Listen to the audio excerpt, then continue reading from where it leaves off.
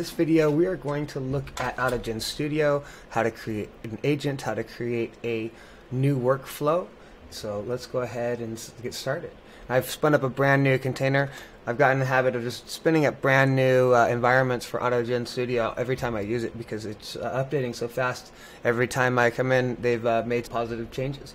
Just since the overview video I did two days ago, the interface already looks different. You don't see workflows on the playground page anymore. Now they are associated with a session. So when you create a session, you select the workflow when you create a session. I'm going to go ahead and click on the Build tab. When we create a session, we select a workflow. We don't select the agent.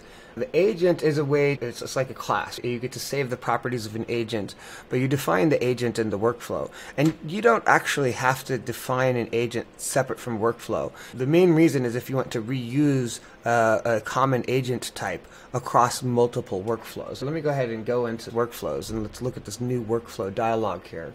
Again, in AutoGen Studio, the primary limitation is that you have really just two different agents that you can define. And your sender is going to be user proxy. And so you're really uh, looking at this one primary uh, assistant or, or whatever you name this. Now, when I select this is my agent, so if I actually click over the agents tab, you would see that I have an agent called primary assistant there already. And when I click on this, this is the same exact dialog here that you would use to create a new agent. And so these are the same exact settings as my primary assistant agent. But if I were to change these, that doesn't change the agent itself. It only changes the agent behavior that's associated with this workflow.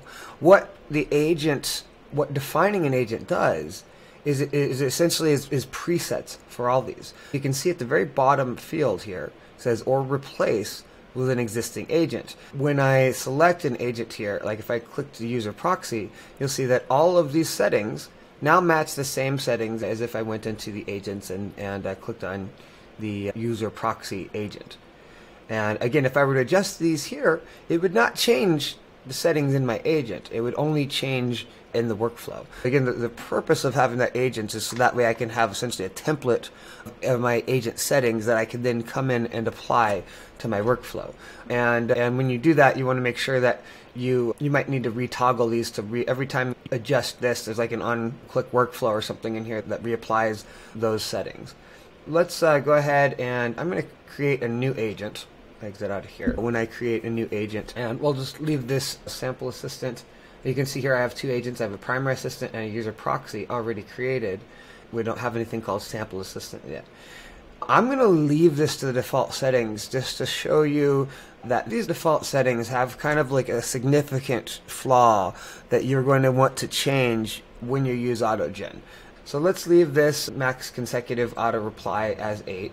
And that, again, allows when you ask a question, the agents are going to try to figure it out on your behalf. And they may go and think and reason and try actions amongst themselves. And this max consecutive controls that behavior so it can't get stuck in a perpetual forever loop trying to resolve a question that it's struggling with or something. Human input mode is that is you may ask the question to the agent the agent may determine uh, a plan of action of what it wants to do or, or a next step or something like that. Do you want that agent to be able to come back and confirm with you? May, may say something like, here's a plan, should I proceed? Something like that, right? And your options here are never, terminate, and always. Uh, I'm going to leave it at that default of never again, and I'll come back and add in a behavior. And you don't need to put a system message, right? You know, you can, you know, I'll just put something here. Now, the, the whole point of the system message is so that when you expose the chatbot interface to either to yourself or to the end user, ideally, you may want to have a behavior that they don't see. Right? You might have a service that, that says, I'm going to talk to you like like I'm a, a, celebrity, you know, Elvis Presley or whatever random thing you put in there, or you could put things that are complex and intricate to, to change the behavior of how your chatbot experience will work. And, and, here's a way for you to put instructions that are essentially behind the scenes. So that way, if someone comes and uses the, a chat interface that you expose, they wouldn't see this instruction. They would just ask a question like normally, and as their question would get forwarded over to your LLM endpoint, the system here will kind of inject that in as a system message. So that way, when the LLM responds, it will know how to respond. And so we'll press OK. And now that we've got our agent, we can't use that agent until we apply it to a workflow. So let's go ahead and we'll create a new workflow. Okay, we'll click the new workflow button. And see, we'll just call this the sample agent workflow to match the name of the assistant. Doesn't really matter. We're going to go ahead and see here that by default it's going to load this primary assistant and I'm going to go ahead and change the settings here to the sample assistant. Now, do keep in mind, you see here that at the this field where I can load the settings for the sample assistant, by default right now, it's going to display the last, the most recent assistant that I created in this field. But you'll notice those aren't the settings that are actually applied here. And that's kind of something with the code you need to fix. This doesn't apply your settings from an existing agent unless there's an on-click action here. So you need to toggle back to primary assistant. Whatever it shows up as default, it may not, unless it's a primary assistant, is that's what's going to load in this uh, the settings. And uh, if it's showing something here like it did, a sample assistant, you'll need to like switch to something else and then switch back in order to have the on-click action ensure that your, your, fields get filled out. Now you'll see that these are the same settings that I have associated with that agent. I can click OK and click OK again to create this sample agent workflow. And now the workflow is created. I can go back into Playground and we'll see here if I click uh, new session, we'll create it with that new workflow we just created. Now we'll ask a question. Doesn't matter what I ask right now. I'm just trying to show that it works here and how it works specifically. You can see here it's thinking give it a second. Now, if you have done this in Visual Studio Code, uh, you can see what's happening behind the scenes while the question is uh, being asked. Now, that was the question answered, and you can also see all these messages. Once the question is completely answered, it will show in the browser. But some of these times these will take long, so it's useful if you're running it in a container or something. In my case, I'm running it on a Tanzu Kubernetes grid. I can look over into my container terminal and see what's happening in real time.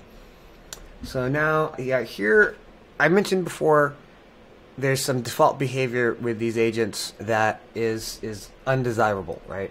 And so we ask the question, how are you doing today?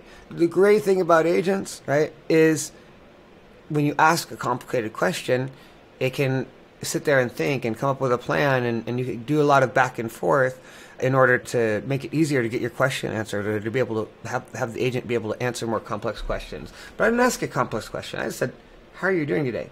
And it said eight messages. So we can see here user proxy proxied our message. How are you doing today? And of course, our sample assistant. This is a call to our GPT-4. And when it comes back to user proxy, what did user proxy say? Nothing. Right? Well, because that's what we set it to say. We said you can go back and talk to user proxy eight times. You know, notice there's eight messages. And we said don't ask human. Another option was to terminate. That allows their user proxy to kind of automatically insert a terminate message. We didn't select that. We left the default setting of never. So it's not going to interrupt us and it's not going to terminate the flow. And so it just loops and it sends another call to, to OpenAPI and another call. You could see that it's confusing for the system because it's sending the call to OpenAI or your LLM multiple times and it's not sure why because it's getting back nothing from you. And so it's trying to guess what you're doing. It's confused. And then the ultimate response that comes back might end up being confused as well. In this case, we saw here nothing. It didn't. It didn't come back with anything because it, it confused everything, and uh, and so that was the sample. But let's just go ahead and uh, let's just try that again with the default. So um, the default agent right now. Let's say this general agent workflow. See what happens if those settings are any better or not. So the general agent workflow. Let's see if we say, "How are you doing today?" Now you can see the general agent workflow actually um, handled it no problem, and uh, you can see here terminate. And so now if we go into the settings for the general agent workflow, let's go, let's go ahead and go to the general agent itself. If you look at the workflow, but it'll use this primary assistant. Interestingly, it still has the same auto reply, and it still has the same human input mode never. And so, how it deals with terminate messages is addressed here in the prompt. So you can see here, the summary must end with the word terminate. So it's going to say, you know, take the question, try to summarize or improve on the question that the user submitted, and and then add the word terminate. And by adding the word terminate, that signals the, the loop to end. And so on one hand, you could utilize the terminate here, and that's going to imp- you may not want it to always insert the word terminate. So you, it, it's kind of a good practice to put it in top prompt if that's working. You could set it to always ask you, so you can decide as the user interactively if you want it to continue to proceed or handle it in the prompt. And usually handling it in the prompt gives you the most flexibility, but it's also a little bit more nuanced, right? Because if you want it to issue a terminate message under certain conditions, you're going to have to test that a good place to get started, right, is to do similar to the defaults. There's also a number of notebooks on Autogen site, as well as you can use agents outside of Autogen also have the system message context. So whether you're doing something on OpenAI or whether you're doing something with all these other, with a lot of different frameworks, they'll all have this kind of similar system message prompts. And so there's a lot of different references and examples and best practices that you can find about how to create optimal system message prompts that help to control for behaviors. Okay, and I think that's it for this video. I'm going to make a separate follow-on video where we'll look at uh, plugging in open source models. So hope to see you then. Thank you.